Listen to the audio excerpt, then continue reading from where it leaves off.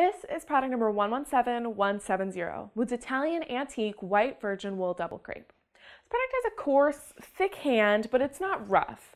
It does have weft stretch and it's slightly translucent, especially in the light. This product has an ample, weighty drape, and it would make a great pair of wide leg pants, high-waisted with black buttons, and paired with a matching off-the-shoulder short sleeves crop top and some chunky wedge heels.